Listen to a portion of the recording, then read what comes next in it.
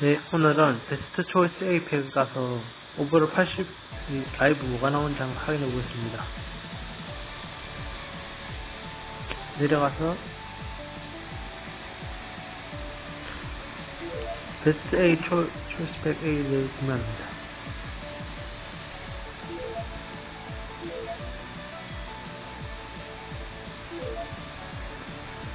보관함에 들어가서 아이템을 다 받아줍니다.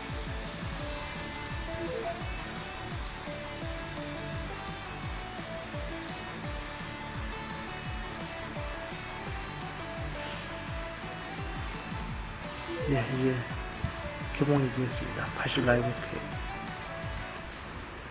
두구두구두구두구두구두구두구.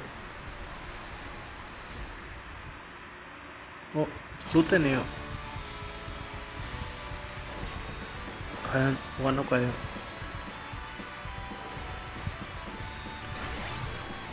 자, 엑스 전준호가 나오네요. 아, 전준호 쓰는 잘 됐네요. 와, 천만 건이 좀 나가네요. 좀 비싸네요. 이제 킹갈리 들어가서 교체를 하겠습니다. 이제 2019년 전준호는 빠이빠이 하고 2020 전준호를 진입했습니다.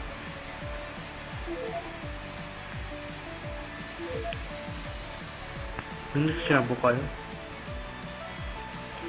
와 파워가 91이군요 송구 파워도 붙이고 좀 빠르네요. 아, 이것으로 이제 마치겠습니다.